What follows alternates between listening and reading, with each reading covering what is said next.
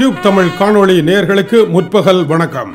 துருக்கியை தாக்குவதற்கு தயார். அமெரிக்கா அறிவிப்பு.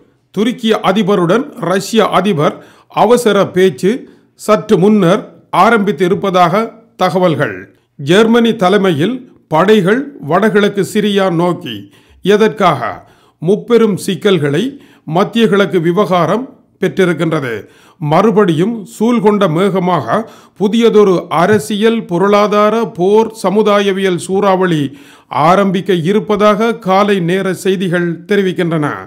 துருக்கியை தாக்குவதற்கு தாம் தயார் என்று அமெரிக்க அதிபர் கூறியதாக அமெரிக்காவினுடைய வெளியுறவுத்துறை அமைச்சர் மைக் பொம்பியோ சிஎன்பிசி தொலைக்காட்சிக்கு தெரிவித்திருக்கின்றார்.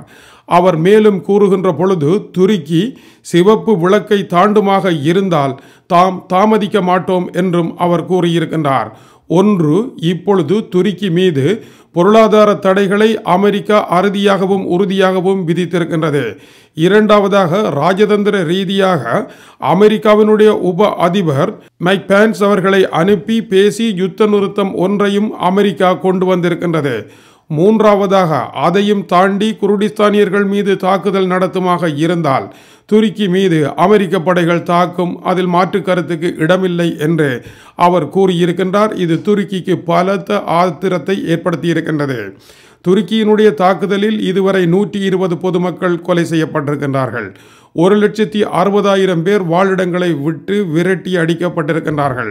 துருக்கி எத்தனை லட்சம் பேரை இப்பகுதியில் அதாவது பாதுகாப்பு வலயம் ஒன்றை உருவாக்குவதன் மூலம் எத்தனை லட்சம் பேரை குடியமர்த்த போகின்றதோ அத்தனை லட்சம் குருடிஸ்தானியர்களை அகதிகளாக்குகின்ற ஒரு வேலையையும் செய்து கொண்டு இருப்பதை உலகம் கணித ரீதியாக மிக மிக தாமதமாகவே கண்டுபிடித்திருக்கின்ற காரணத்தினால் உலகம் விழித்து கொண்டிருக்கின்றது.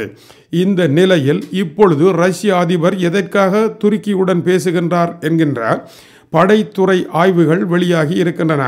ரஷ்ய அதிபரை பொறுத்தவரையில் துருக்கியை அமெரிக்காவுக்கு எதிராக திருப்பி விடுவது அவருடைய ராஜதந்திர நோக்கம் என்று கூறப்படுகின்றது. இதனால் அவர் துருக்கிக்கு எஸ் நானூறு ஆயுதத்தை வழங்கி துருக்கிக்கு வழிகாட்டும் நடவடிக்கையை மேற்கொண்டிருக்கின்றார். அதேவேளை துருக்கி இப்பொழுது என்ன செய்ய போகின்றது என்பது தெரியவில்லை. துருக்கிக்கு தடிமன் வந்தால் ஐரோப்பா தும்மும் என்பது ஒரு பழைய பழமொழியாகும். அந்த பழமொழி போல துருக்கிக்கு தடிமன் பிடித்து அது சிரியாவினுடைய வடகிழக்கு பகுதியிலே மூக்கை சீறுகின்ற பொழுது ஐரோப்பா இப்பொழுது தும்ம ஆரம்பித்திருக்கின்றது. அதுதான் நேற்று ஜெர்மனிய படைத்துறை அமைச்சர். முப்பதாயிரம் முதல் நாற்பதாயிரம் வரை தமது படைகள் அங்கு செல்ல இருப்பதாக அறிவித்திருக்கின்றார்கள். எனவே இந்த இடத்திலே உலகத்தின் அனைத்து சக்திகளும் ஒன்றாக குவிய போகின்றன. இவர்கள் யாருடன் யார் மோதப் போகின்றார்கள் என்பது தெரியவில்லை. இப்பொழுது அமெரிக்கா விலகி சென்ற காரணத்தினால் குர்டிஸ்தானிய பகுதியை ரஷ்யாவினுடைய படைகள் ஏறத்தாழ பொறுப்பேற்றிருக்கின்றன. இதனால் துருக்கியால் முன்னேற முடியவில்லை. சில வேளை துருக்கியினுடைய தாக்குதல்கள் ரஷ்யா மீது நடந்தால் அதை தடுப்பதற்கும் ரஷ்ய அதிபர் முயற்சிப்பார் என்று மேலை நாட்டு ராஜதந்திரிகள் கூறுகின்றார்கள்.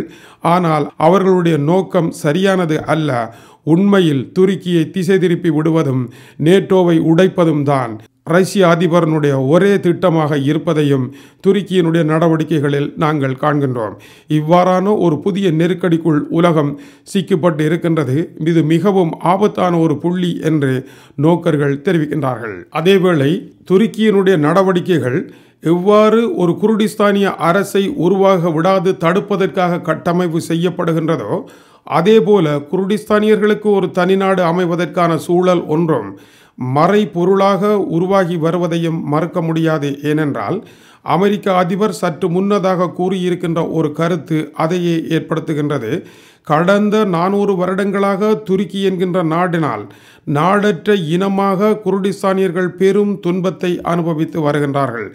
மேலும் ஒரு நானூறு வருடங்கள் இவர்கள் துன்பத்தை அனுபவித்து துருக்கியினால் தொடர்ந்து தாக்குதலுக்கு உள்ளாகி வருகின்ற நிலையை அனுமதிக்க முடியாது என்றும் இதற்கு ஒரு முற்றுப்புள்ளி வைக்க வேண்டும் என்றும் அவர் கூறியிருக்கின்றார். இப்பொழுது ஏற்பட்டிருக்கின்ற குளறுபடியான இந்த நிலையானது குர்டிஸ்தானியரை மீட்டெடுக்கும் ஒரு போராக சூழ்கொண்ட மேகமாக திரும்புமாக இருக்குமா என்ற ஒரு கேள்வியை மேலை நாடுகள் கேட்கவில்லை. ஆனால் இதனுடைய போக்கு அவ்வாறுதான் இருக்கின்றது. இதுபோல சிறுபான்மை இனங்களை தொடர்ந்து துன்புறுத்தி அதிகாரத்தில் இருக்க முடியாது என்கின்ற செய்தியை இந்த நூற்றாண்டின் முதலாவது இருபத்தி ஐந்தாவது ஆண்டுக்கு உள்ளாக அனைத்து ஆக்கிரமிப்பு சக்திகளும் கற்றுக்கொள்ள இருப்பதையும் இந்த நிகழ்வு கோடி காட்டி நிற்கின்றது. இது நாடற்ற மக்களுக்கு ஒரு நம்பிக்கை விளக்காக மாறலாம். இது டியூப் தமிழ் காணொலிக்காக டென்மார்க்கில் இருந்து கீசே துறை வணக்கம் உறவுகள்.